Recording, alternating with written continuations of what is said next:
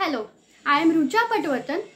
Today we are going to study two topics. First is electric current and second will be Ohm's law. Now we will see first electric current. We see electric current or kind of current in day-to-day life. Okay, lightning is also kind of current but it is not steady current. If we say steady current, we see a slowly flowing river or a torch is the example of steady current.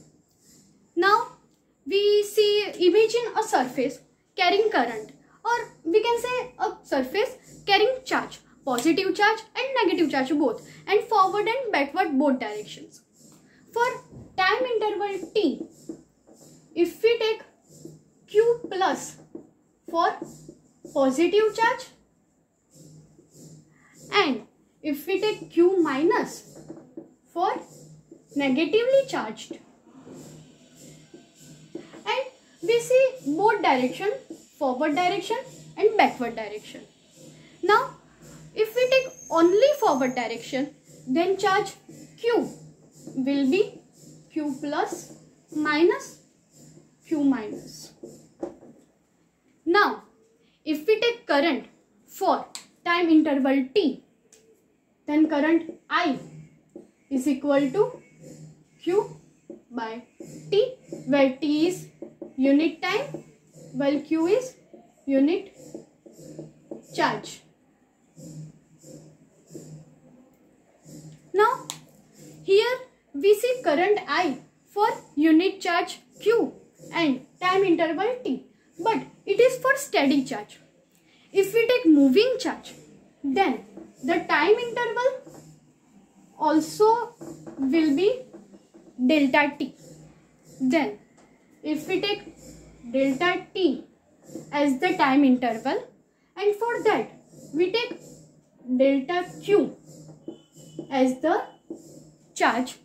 Now see uh, current I for t will be limit delta t tends to 0 delta q by delta t. See, here we take q by t for forward direction only. And if the reply, uh, the answer will be negative, then it will be backward direction. This plus and minus sign shows the direction only. Okay. Now, the unit of current is ampere A. Is This is the SI unit of the current I. Okay. Now, we will see the Ohm's law. Now, the second is Ohm's law. Ohm's law which is discovered by G.S. Ohm named scientist in 19 uh, sorry 1828 now uh, if we see uh, potential difference now the question is what is potential difference?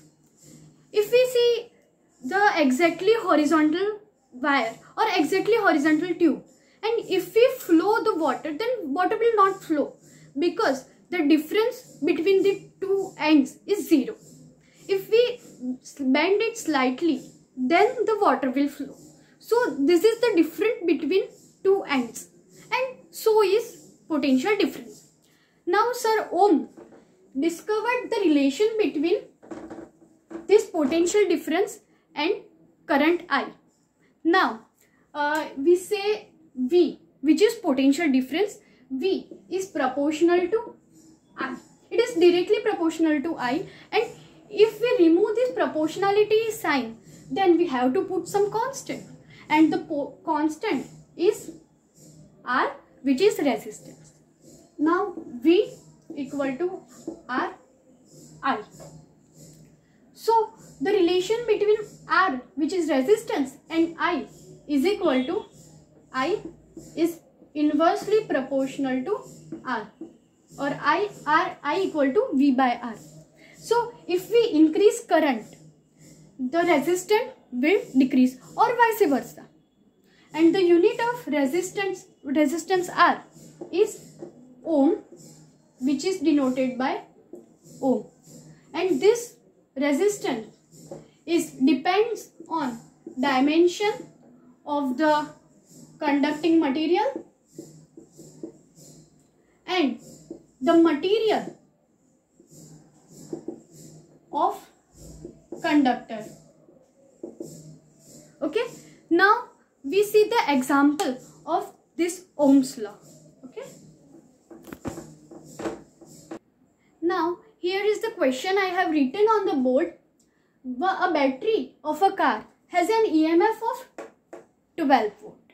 Okay? 12 volt and the internal resistance of a battery is 0.4 ohm. Okay? And we have to find maximum current. Okay? Now here we have given potential difference v is equal to 12 volt and resistance r is equal to 0.4 ohm. And we have to find out current i is equal to what? Okay? Now here by ohm's law we can say ohm's law is v is equal to i or ri we can say anything okay? Uh, it is not seen okay? Uh, it is not seen due to reflection. I, I am removing that. And so by Ohm's law we can say V equal to IR R is the resistance. I we have to find out. So we can say I is equal to V by R. Now let us put the value of V and R.